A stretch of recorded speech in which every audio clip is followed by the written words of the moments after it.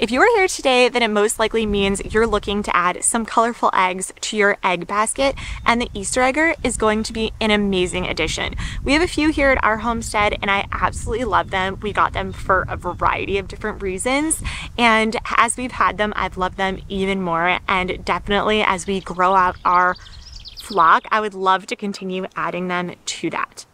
They're primarily known for their blue colored egg, and this is because of the mixture of the two chickens that actually formed the Easter egg, and that is the Americana and the Ameraucana, and I'll put their names somewhere on the screen because I'm definitely botching up the pronunciation, so sorry about that.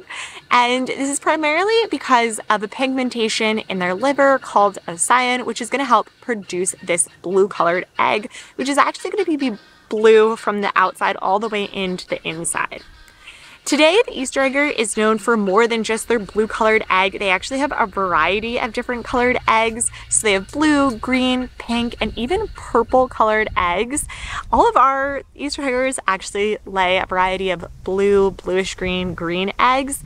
But it is interesting to note that whatever color your hen is laying is the color that they will lay the entirety of their life. It may change a little bit in shade, but that's going to be primarily the color. They're not going to go from laying a blue egg the next day to a pink egg. So the best way to get a really colorful egg basket is going to be to actually get multiple different Easter egg chickens and add them to your flock. So you're probably going to need to get a lot of them. But what's really great about them is they're not only great for laying eggs, and they're gonna lay a good amount of eggs, usually around four per week or around 200 per year.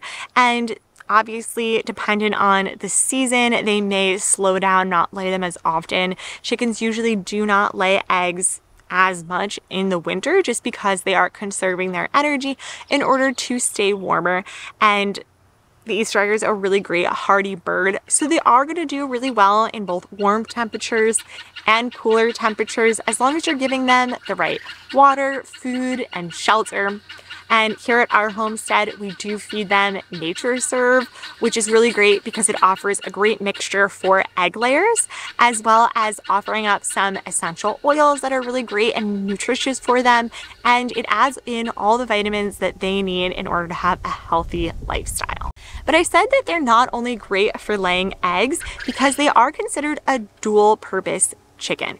This means that they are not only great for their large amount of eggs that they're going to lay, but also because they are going to get to a pretty great meat size, anywhere from four pounds as a female to five pounds as a male, and that's give or take dependent on their diet, lifestyle, and just dependent on that specific hen. That's all great and dandy, but let's talk a little bit about what they actually look like and their personality. So first off, in regards to what the bird looks like, I think they're a beautiful bird and they come in a few different colors. So I'll throw up some examples of Easter eggers here.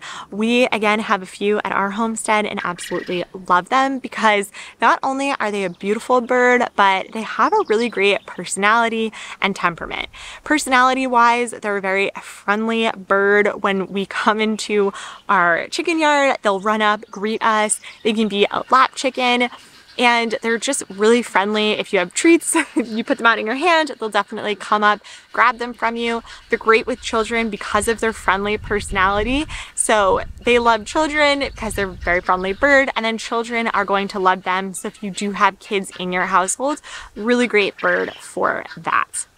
In regards to adding them to a flock, they are definitely a friendly bird, so they're going to get along with a lot of other birds. We integrated our Easter eggers into an already pre-existing flock and it worked out really well. One thing to note is that they're not going to be super aggressive, so if there is a more aggressive bird, they definitely can beat down on them. So kind of watch when you add them in, kind of see what that pecking order is and just make sure everything's looking good there personality wise. Also in regards to personality, they are going to not be a broody chicken. So we don't have any roosters here at our homestead. So that works out really well for us because we don't need eggs to be hatched out. But if that is something that you're looking for, they're not going to be a great broody bird to hatch out their eggs. You might have just one a black sheep version that is broody, but they're not really known to be super All in all, we definitely love our Easter eggers. I think that personality wise, they're amazing. They're a great hardy bird, especially living in the northeast of the United States. We definitely wanted a bird that'd be able to take the colder temperatures as well as the hot in the warmer July, August months. And the Easter eggers have definitely thrived in this temperature and this type of weather and climate. So really happy with them. We do free range our Easter eggers and they're really great at free ranging, but they can also be set up in a confinement area. So if you are looking to just keep them in an area, just make sure that you add some fun things for them to do so that they don't get super bored. But overall, we've really loved having them. I hope this is helpful. And if you like videos like this and you want to learn more about a specific breed of chickens, then definitely comment down below and we can look at that out for you. Have a good day and we'll see you again again next time. Bye.